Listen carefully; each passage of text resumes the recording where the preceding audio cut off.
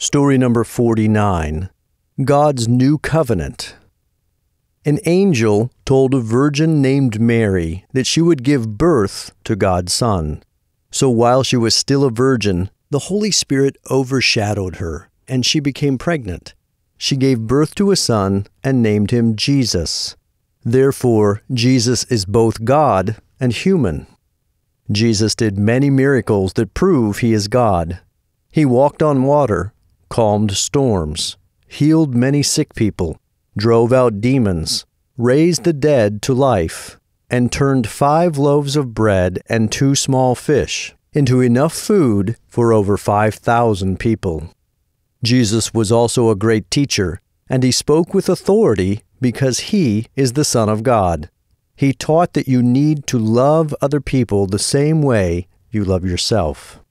He also taught that you need to love God more than you love anything else, including your wealth. Jesus said that the kingdom of God is more valuable than anything else in the world. The most important thing for anyone is to belong to the kingdom of God. To enter into God's kingdom, you must be saved from your sin. Jesus taught that some people will receive him and be saved, but others will not. He said that some people are like good soil. They receive the good news of Jesus and are saved. Other people are like the hard soil of a path, where the seed of God's word does not enter and does not produce any harvest. Those people reject the message about Jesus and will not enter into his kingdom.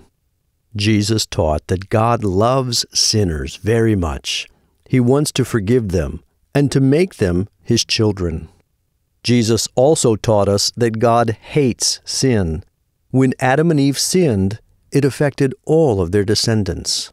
As a result, every person in the world sins and is separated from God.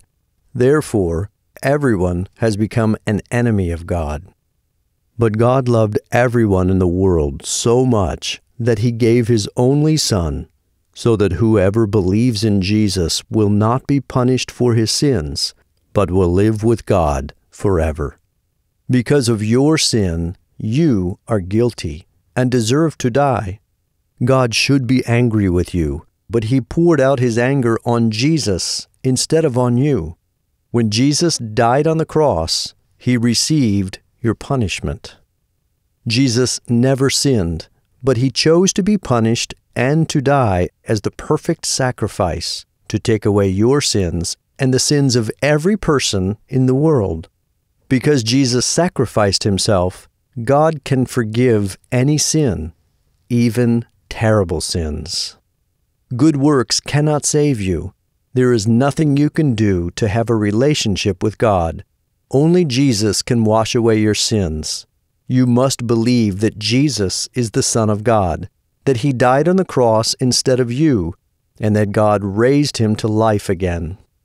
God will save everyone who believes in Jesus and receives him as their master.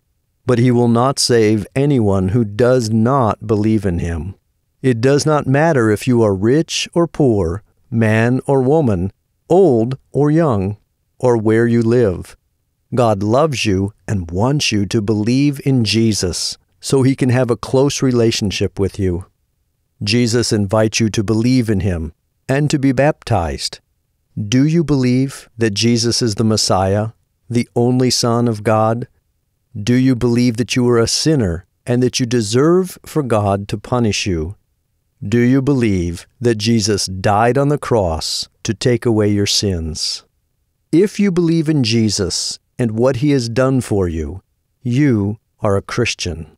God has taken you out of Satan's kingdom of darkness and put you into God's kingdom of light.